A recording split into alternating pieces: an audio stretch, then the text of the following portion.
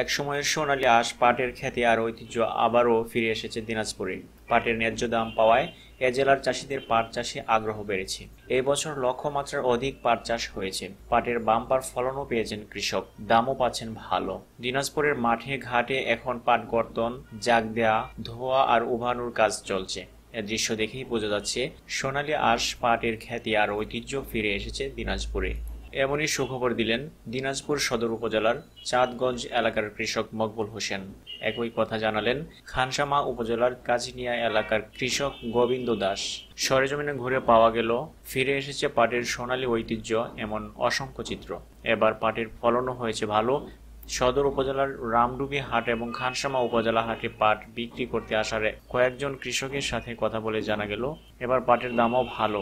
বাজারে পাট বিক্রি হচ্ছে এক হাজার সাতশো টাকা থেকে দুই হাজার টাকা মন দরে। দিনাজপুর জেলা কৃষি সম্প্রসারণ অধিদপ্তর উপপরিচালক কৃষিবিদ মোহাম্মদ তৌহিদুল ইকবাল জানান, জেলায় চলতি মৌসুমে সাত হাজার তিনশো বাহান্ন হেক্টর জমিতে পাট চাষের লক্ষ্যমাত্রা নির্ধারণ করা হলেও অতিরিক্ত সাতশো একাত্তর হেক্টর বেশি জমিতে পাট চাষ করা হয়েছে। কৃষি বিভাগের মতে কৃষকের রিবন রেডিং পদ্ধতিতে পাট পচানো শেখানো হচ্ছে। এতে পাটের গুণগত মান বজায় থাকছে। পাশাপাশি আধুনিক পদ্ধতিতে পাট চাষ, পাট বীজ উৎপাদন ও সংরক্ষণের কলা কৌশল পাট পচন এবং পাটের গ্রেডিং নিয়ে পাট চাষে প্রশিক্ষণ এবং কর্মশালার আয়োজন করা হচ্ছে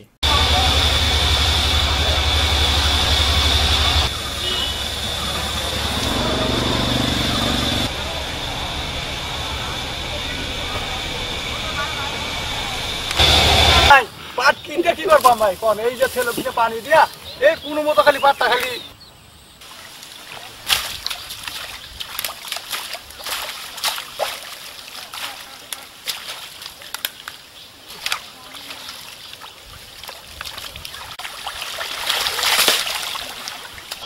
এটা আমাদের পুষে যায় আর কি। পাটের আবার এবার খুব সুন্দর হয়েছে।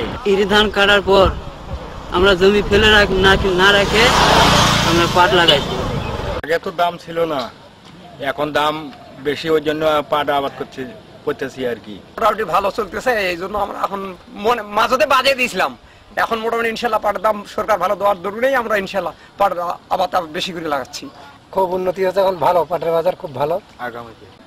বাদ দিছিলাম তো এগুলা দু বিঘা লাগাইছি। এখন মোটামুটি খুব ভালো বাজার পাচ্ছি। আগে পাট লাগাইছিলাম তার দাম পাই নাই। এইবার ফির দাম দেখে আবার লাগাইছে এইবার দাম পাইছি ভালো। দাম আগে ছিল না এখন বর্তমান ভালো দাম পাচ্ছি। হ্যাঁ এই জন্য পাট লাগাবো আর। হ্যাঁ। আগে পাট আবাদ করছিলাম না দাম পাই নাই বলে। এখন আবাদ করতেছি পাটের দাম পাচ্ছি বলে। চিন্তা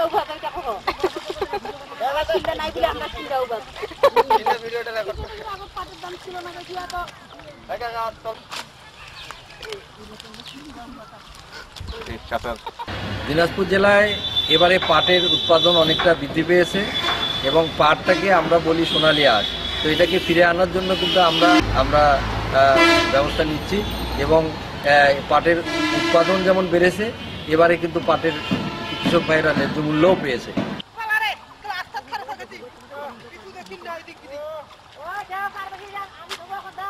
পাটের সোনালী অতীত ফিরিয়ে আনতে পাট চাষের প্রতি আগ্রহ বাড়ছে কৃষকের।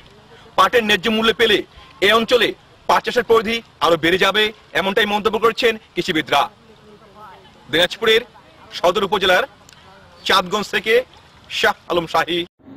আমাদের নতুন নতুন নিউজগুলো প্রতিনিয়ত আপডেট পেতে আমাদের ইউটিউব চ্যানেলটি সাবস্ক্রাইব করুন এবং ডান পাশের বেল বাটনটি চাপুন। ভালো লেগে থাকলে আপনাদের সোশ্যাল মিডিয়ায় তা শেয়ার করুন। আমাদের সাথে থাকার জন্য ধন্যবাদ।